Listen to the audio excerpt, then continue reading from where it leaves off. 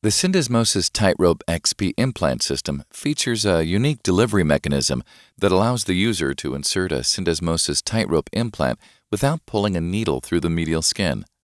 The XP gives the user control to flip the medial oblong button below the skin for less soft tissue interposition. Stabilize all fractures prior to Syndesmosis Tightrope XP implant system insertion. Drill all four cortices approximately 1.5 centimeter above the ankle joint in the transmalleolar plane, 30 degrees anterior to the coronal plane, using the 3.7 millimeter XP drill bit. A guide wire and cannulated 3.7 millimeter drill bit can also be used.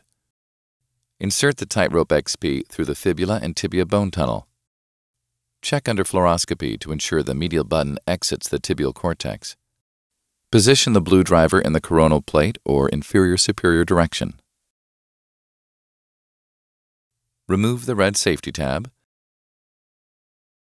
Deploy the black button on the Syndesmosis Tightrope XP handle. Important, after deploying the black button, push the Syndesmosis Tightrope XP medial. Visualize a T shape on fluoroscopy.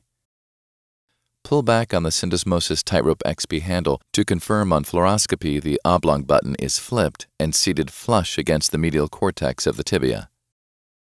Unwrap the trailing sutures from the Tightrope XP driver to release the round button.